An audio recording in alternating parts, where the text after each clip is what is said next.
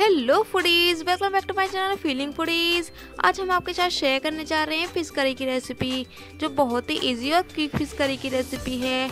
और टेस्ट ऐसा कि हर कोई दीवाना हो जाए। तो देख लेते हैं, इसे बनाना कैसा है।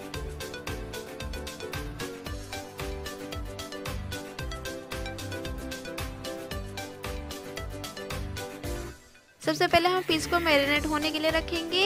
उसके लिए एक बड़े बाउल में वन टीस्पून कश्मीरी मिर्च पाउडर, आधा टीस्पून नमक टेस्ट के अकॉर्डिंग वन चौथा टीस्पून हल्दी पाउडर, एक टेबल स्पून अदरक और लहसुन का पेस्ट अब इन सब मसालों को हम वन टेबल स्पून पानी डालकर अच्छे से मिक्स कर लेंगे।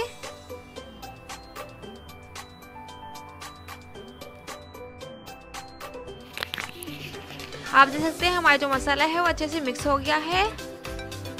अब इसमें हम एक किलो रोहू फ़िश को डाल देंगे, जिसको हमने पहले ही अच्छे से धोकर छलनी में रख दिया था, ताकि एक्स्ट्रा जो पानी है वो निकल जाए। अब फ़िश में अच्छे से मसालों को लगा देंगे।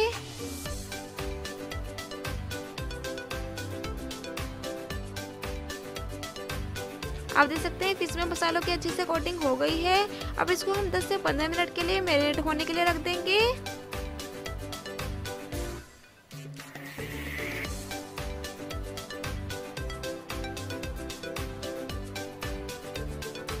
दस मिनट हो गए हैं, अब चलते हैं हम नेक्स्ट प्रोसेस में।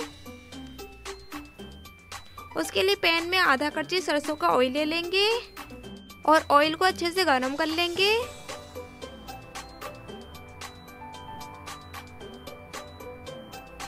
और जब ऑयल अच्छे से गर्म हो जाएगा, इसमें हम एक एक करके पीस के पीस को डाल देंगे और इसको हम दोनों साइड से लाइट गोल्डन फ्राई कर लेंगे।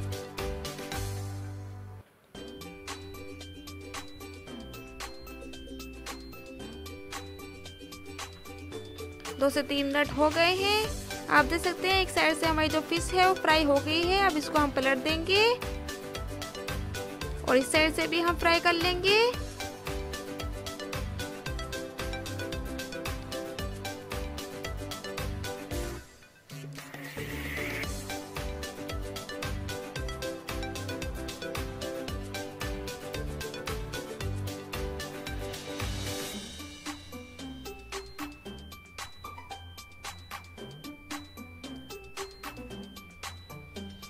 अब ये जो हमारी पीस है वो फ्राई हो गई है। अब इसको हम निकाल लेंगे। फिर इसको फ्राई करने में टोटल पाँच से सात मिनट लगेंगे। इससे ज़्यादा हम फ़िश को फ्राई नहीं करेंगे।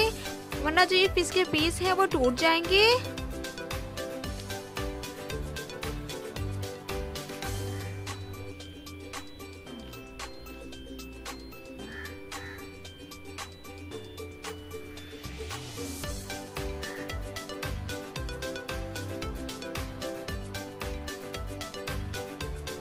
अब सेकंड बैच को भी हम फ्राई कर लेंगे।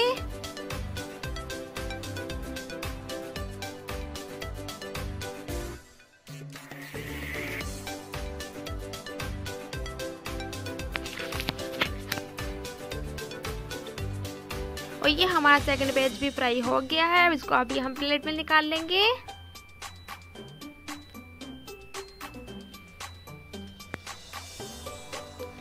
और ये हमारी फ़िश फ्राई होकर रेडी है। अब चलते हैं हम इसकी ग्रेवी बनाने के प्रोसेस में। अब हम एक कढ़ाई ले लेंगे या फिर उसी पैन को ले लेंगे जिसमें फ़िश को फ्राई किया था। उसमें हम डेढ़ कड़छी ऑयल ले लेंगे। इसमें हम वही ऑयल ले लेंगे जिसमें हमने फ़िश को फ्राई किया था। और थोड़ा सा और ले लेंगे। तो ये टोटल डेढ़ कड़छी हो जाएगा। जब ऑयल अच्छे से गर्म हो जाएगा, इसमें हम आधा टी स्पून मेथी दाल डाल देंगे। और इसको थोड़ा तलकने देंगे। अब इसमें हम चार मीडियम साइज़ की प्याज का पेस्ट को डाल देंगे और दो से तीन मिनट के लिए फ्राई करेंगे।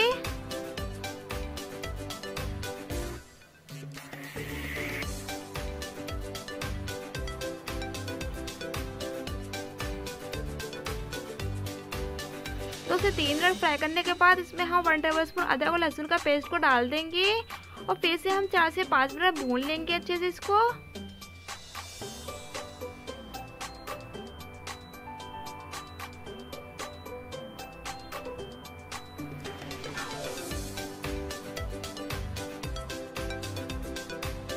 चार से पाँच मिनट पकाने के बाद इसमें हम पाउडर मसाले डाल देंगे। डेढ़ टेबल स्पून धनिया पाउडर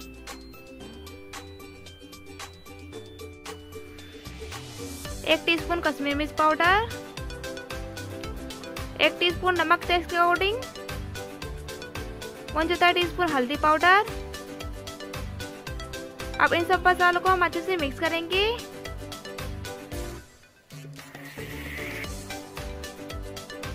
और इसमें हम वन टेबल स्पून पानी डालकर अच्छे से मसाले को पकने देंगे।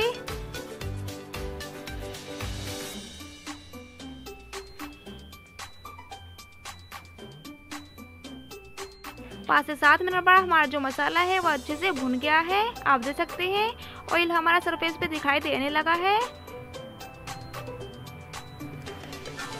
अब इसमें हम दो मीडियम साइज़ के टमाटर की प्योरी को डाल देंगे। और फिर से इसे पाँच से सात मिनट अच्छे से भून लेंगे।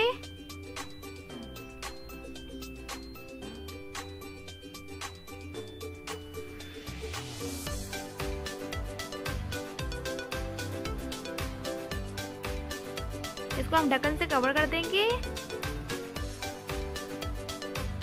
पाँच से सात मिनट बाद चेक करेंगे। आप देख सकते हैं हमारे जो टमाटर हैं वो अच्छे से पक चुके हैं। अब इसमें हम पानी को डाल देंगे। जितनी गाढ़ी हमें ग्रेवी रखनी है, हम उस हिसाब से पानी डाल देंगे।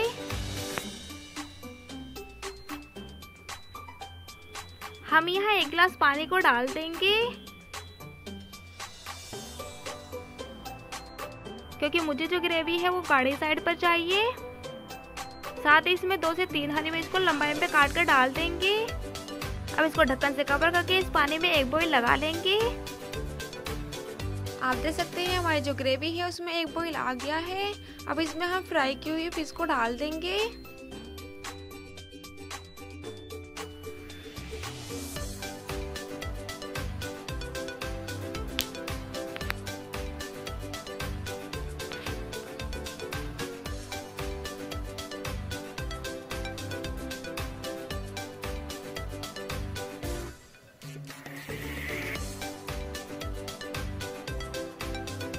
बहुत ही हल्के हाथों से हम इसको मिक्स करेंगे।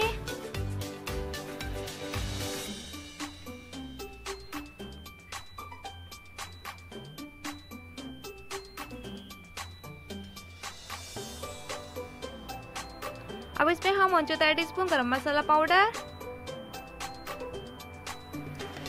साथ ही वन पिंच कसूरी मेथी को डाल देंगे। कसूरी मेथी इसके फ्लेवर को और इनहेंस कर देगी। अब इसको हम ढक्कन से कवर करके दो मिनट और पकाएँगे।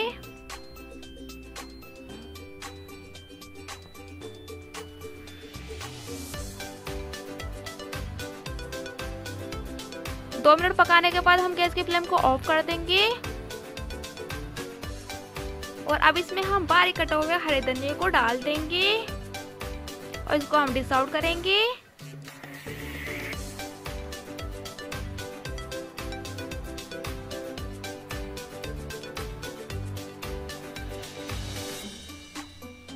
और ये हमारी फ़िश करी तैयार है।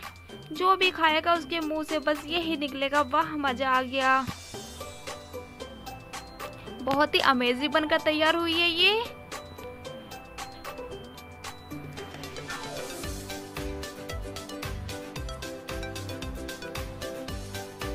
ऊपर से थोड़े धनिया की पत्ती से गार्निश कर देंगे। और ये रेडी है हमारी फ़िश करी आपका दिल खुश करने के लिए। आई होप आपको आज की रेसिपी पसंद आई होगी। तो आप भी मेरी इस रेसिपी को ट्राई करें और अपनी फैमिली फ्रेंड के साथ इंजॉय करें। और अपना फीडबैक देना कमेंट में ना भूलें। अगर आपको मेरी आज की रेसिपी अच्छी लगी तो प्लीज़ लाइक कीजिएगा, मेरे चैनल को सब्सक्राइब कीजिएगा और अपने दोस्तों के साथ शेयर करना ना भूलिएगा। मिलते हैं नेक्स्ट वीडियो में, तब तक के लिए बाय बाय